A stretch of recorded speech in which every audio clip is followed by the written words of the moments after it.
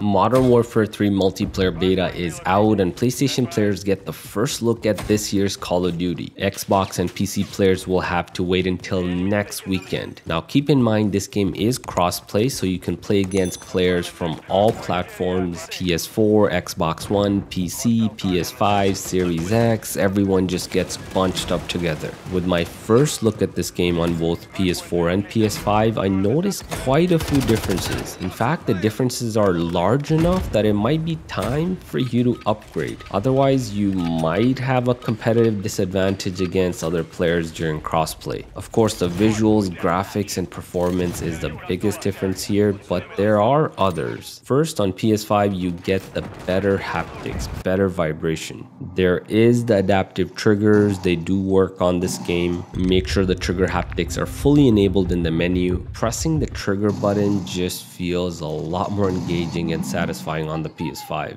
The PS5 controller is also better overall. The form factor, the grip, it does give you an edge. Now both PS4 and PS5 do also have mouse and keyboard controls. Be sure to change the aiming input device to mouse. I love it when first person shooters just offer mouse and keyboard support natively on console. It's nice to just have that option available. PlayStation 5 players also have the 120 Hz refresh rate mode, while PS4 only goes up to 60 FPS. More on that later, but first let's check out the graphics and visuals. To me, there seems to be a huge difference in the visuals and the graphics here. The PS4 seems to struggle a bit with this game. I mean, the objects, the textures, they pop in. It's really bad. This floor, this whole area right here is missing and it took like 20 seconds for those textures just to pop in. Overall, the game looks like a PS3 game. Well, maybe not that bad, but I'm just trying to make a point here. In fact, this might be bad enough that maybe it's going to be the last Call of Duty we see on PS4, but let's see what happens next year. After playing the PS5 version, the PS4 version just looked ugly. I mean, the resolution here must be around 900p, while the PS5 version is running at around 1440p to 1800p. In terms of performance, the PS4 version does target 60 FPS. Now, during the Mosh Pit playlist, the PS4 does do a decent job of holding that 60 FPS. During the standard playlists, you can expect a little bit of screen tearing and some drops into the 50s. I mean, overall, it's not too bad, and the Mosh Pit playlists are still playable. Where things get really ugly are during the Ground War playlist. The texture pop in that I mentioned earlier, this is in fact during that Ground War playlist, and the performance here also suffers. There's lots and lots of screen tearing. There's graphic bugs, the FPS drops a lot. PS4 can't hold a solid 60 FPS at all. Expect averages of around 54 FPS and even drops into the 40s at times. Yeah, flying this helicopter isn't the best idea on a PS4. The PlayStation 5 performance is a lot better. During those mosh pit playlists, the game holds a solid 60 FPS. There's virtually no drops at all. The only time I saw my counter kind of dip a bit was just a single frame when I respawned. I also tested the Ground War playlist and even during that, the PS5 holds a solid 60 FPS without any drops. Now during one of the matches for Ground War, I did notice some other server side issues. The other player movements were kind of stuttering and choppy. Keep in mind, this is a beta test after all, and that should hopefully be fixed for the final release. And you're all probably wondering about that PS5 120 Hz mode. Yes, there is a 120 FPS mode that works with the PS5 on Modern Warfare 3. It also does perform decent. I mean, sure, the resolution will go down, but the frame rate doubles. Well, not exactly double because it's not a solid 120 FPS, but it's pretty close. You can expect the frame rate to hover between 105 to 115 FPS and the average is around 110 I would say. The frame rate never really locks itself and sort of just jumps between that range. Now you do need a 120 Hz monitor to play this high refresh rate mode on the PS5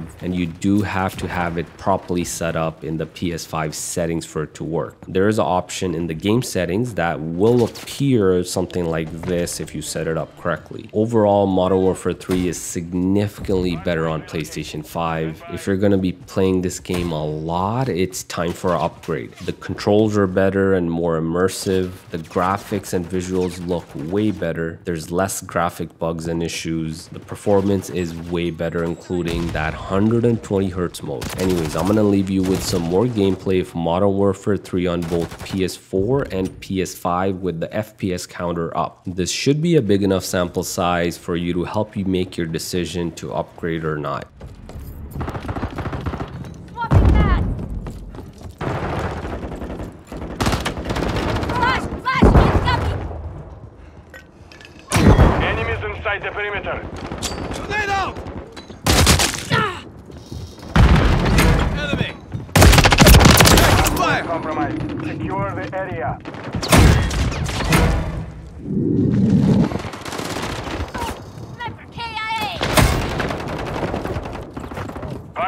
Relocating. Stand by. Friendly UAV online. Enemy inside the perimeter. UAV fire. standing by. On your... I got you set! Hardpoint compromised. Secure the area. Target area updated. Move to the hardpoint. Ready.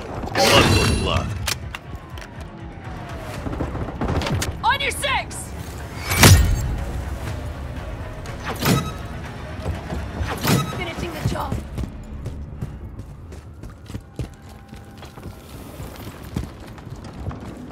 The lead. Contact! Enemies inside the perimeter. Changing mag!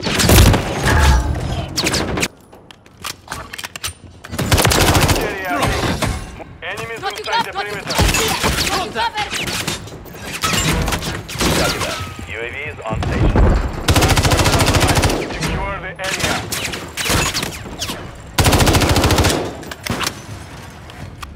Loading! Enemies inside the perimeter.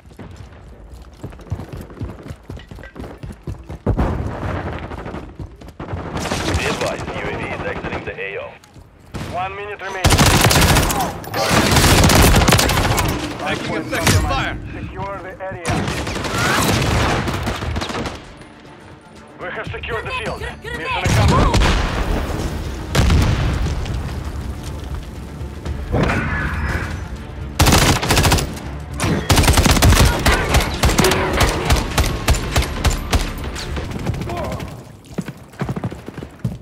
Halfway to mission complete.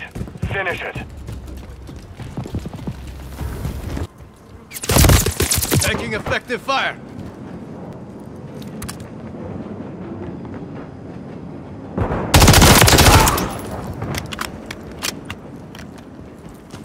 Friendly UAV online.